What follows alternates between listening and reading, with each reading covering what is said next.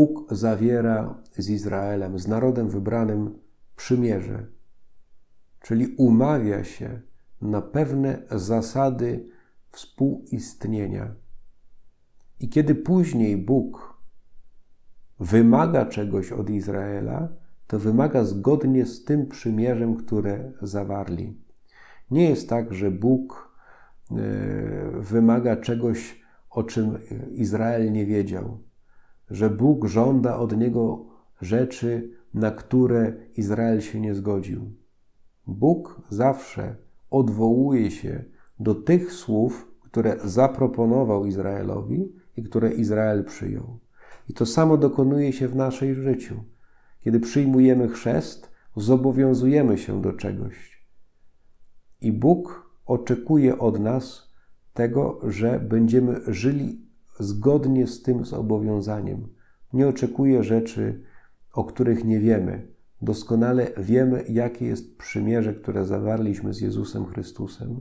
Ono wyraża się w przyrzeczeniach Chrztu Świętego. Dlatego warto stale powracać do tego i przypominać sobie, co ja tak konkretnie Bogu przyrzekłem, na co się zgodziłem, i warto według tych słów żyć. Dla nas, zakonników i kapłanów, dodatkowo jeszcze jest e, Księga Konstytucji naszych, reguła życia. I wszelka odnowa życia zaczyna się od powrotu do przymierza.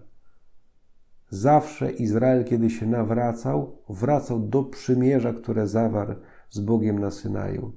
Każda reforma Kościoła powraca do tego przymierza, które zostało zawarte e, z ludźmi we Chrzcie Świętym.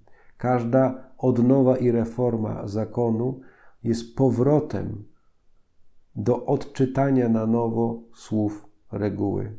Dlatego warto nie tylko wracać do tych słów, ale znać je na pamięć. Święta Klara, która umierała, umierała z księgą o reguły w ręce. To była jedyna rzecz, którą trzymała reguła życia. I ta reguła jest dla nas drogowskazem również odnowy naszego życia. Kiedy czytałem dzisiejszą Ewangelię, to sobie tak pomyślałem, czy Panu Jezusowi chodzi o to, żeby robić przepisy rolnikom. W zasadzie to on był rzemieślnikiem, cieślą, a ci, którzy go słuchali, znali się doskonale na swoim fachu. E, I jeszcze jego rady są takie nie do końca dobre, no bo każdy, kto uprawia jakikolwiek e, mniejszy lub większy ogródek czy pole, no to wie, że chwasty są szkodnikami i trzeba je tępić. I ja sam pamiętam za dziecka jeszcze, jak wyrywałem chwasty z pomiędzy szpinaku, między szpinakiem i, i to jest dosyć męczące i żmudne.